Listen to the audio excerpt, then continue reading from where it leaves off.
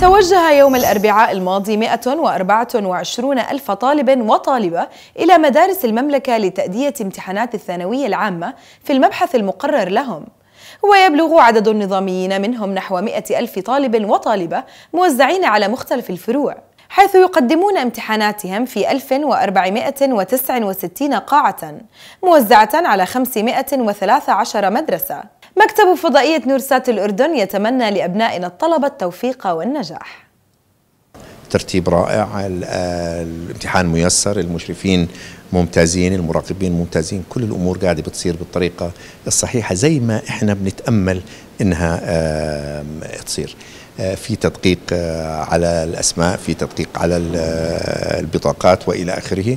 وبعدين في وسائل تكنولوجية إحنا قاعدين بنستعملها هون مشان نمنع التدخل في الامتحان من الخارج أو من الداخل. بنتوقع إنه يكون امتحان جيد عادل ويعكس بصورة صحيحة نتائج الطلاب إن شاء الله.